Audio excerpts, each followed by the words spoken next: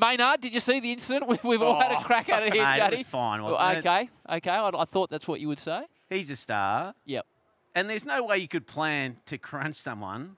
No one can think that far ahead. And no disrespect to Maynard, but particularly to Maynard. He- you know, Do you think he should use that as his defence? wow. Would you character reference him? Would you? I really like him as a player and Yeah. as a bloke, but he's jumped up to smother the ball. Yep. You know what they've got to ban? They've got to ban slow mos. Well, Nate thinks he had options. Oh, Nate talks a lot. Nate talks, he, says, he says a lot of things, Jason. They've got to ban slow mos. When you're in that slow mo, it feels like you've got three minutes to make the call. When you're out there, Yeah. you're spotting raccoons purple. Your, bang, uh, bang, bang. Your, your pressure point looked worse in slow mo too, didn't it? Absolutely. And that's another example of it was I misunderstood, probably.